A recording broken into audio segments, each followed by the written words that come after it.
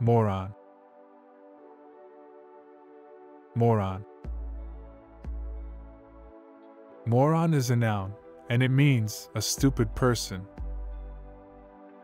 In the past, this was a word used for a person of low intelligence. Moron. Moron. An example of its use is I can't believe I did something so stupid. I feel like a complete moron. Moron. Moron. Moron.